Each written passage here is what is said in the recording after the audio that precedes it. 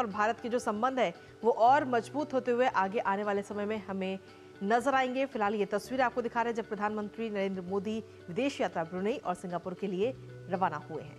आपको बता दें कि ब्रुनई की यात्रा करने वाले कोई भी पहले भारतीय प्रधानमंत्री हैं तो बेहद ही महत्वपूर्ण यात्रा मानी जा रही है प्रधानमंत्री नरेंद्र मोदी की ब्रुनई की और ब्रुनई के बाद प्रधानमंत्री नरेंद्र मोदी पहुँचेंगे सिंगापुर। हालाँकि बात करें, अगर भारत ब्रुनई के तो राजनयिक संबंधों को 40 वर्ष पूरे हो गए हैं और प्रधानमंत्री नरेंद्र मोदी की ब्रुनई यात्रा में रक्षा, उद्योग और प्रौद्योगिकी से जुड़े क्षेत्रों पर विचार विमर्श होगा, मंथन होगा। इसके अलावा रक्षा क्षेत्र से जुड़ी और भी कई संभावनाएँ इस यात्रा में देखी जा रही हैं, क्योंकि कच्चा तेल जो है आयात करता है भारत और बेहद ही महत्वपूर्ण घटक दल है। रक्षा क्षेत्र में प्रधानमंत्री नरेंद्र मोदी की यात्रा बेहद ही महत्वपूर्ण मानी जा रही है। आसियान के लिहाज से भी दोनों देश एक बेहतरीन भागीदार रहे हैं और प्रधानमंत्री नरेंद्र मोदी जब भी विदेश यात्रा पे जाते हैं तो वहाँ के भारतीय समुदाय में अलग ही उत्साह होता है, अलग ही जोश होता है और जब वो वहाँ जाएँगे तो भारतीय समुदाय से भी वो मुलाकात करेंगे। बिल्कुल, और भारतीय समुदाय की क्या कुछ कहना है, वो भी हमने आपको सुनाया आपसे कुछ देर पहले। वो काफ़ी उत्सुक हैं प्रधानमंत्री से मुलाकात करने के लिए, उनके साथ चर्चा करने के लिए कि आखिर वहाँ पर वो किस तरीके से रह रहे हैं। साथ ही अपनी बातें जो हैं, वो प्रधानमंत्री के साथ साझा करेंगे। और जब भी प्रधानमंत्री किसी भी विदेश दौरे पर जाते हैं तो वहाँ पर मौजूद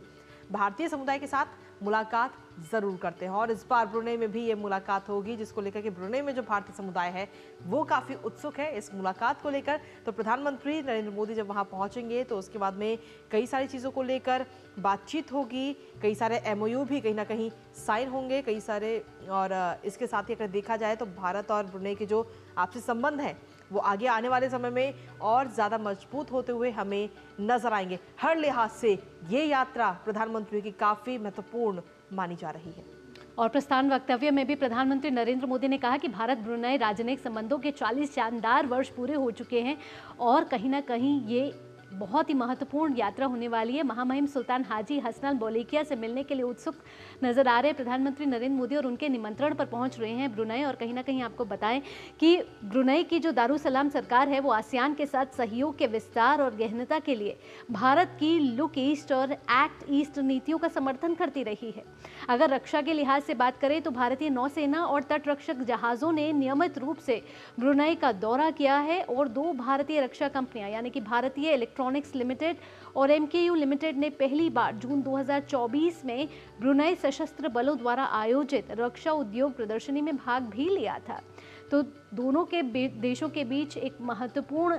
सहयोग दिखने वाला है और एक नया अध्याय दिखने वाला है, नए आयाम मिलने वाले हैं दोनों के रिश्तों को, क्योंकि प्रधानमंत्री नरेंद्र मोदी ब्रुनई के सुल्तान हाजी हसनल बोलिकिया के निमंत्रण पर ब्रुनई जा रहे हैं और इस दो दिवसीय दौरे का मकसद दोनों देशों के बीच विभिन्न क्षेत्रों में आपसी संबंधों को प्रगाढ़ बनाना है, सुदृढ़ बनाना है, मज़बूत बनाना है।